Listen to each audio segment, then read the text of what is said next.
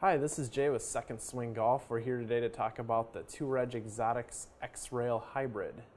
This club offers a new, wider diamond-shaped inner rail that guides the club to square position at impact. Also, this club offers 15% more weight added to the outer rails for more stability and better performance on off-center hits. In this model, the variable face thickness technology produces hotter launch characteristics off of more points in the face to give you better distance and forgiveness on each shot. Please visit one of our Second Swing locations for a free fitting with your purchase or online at secondswing.com.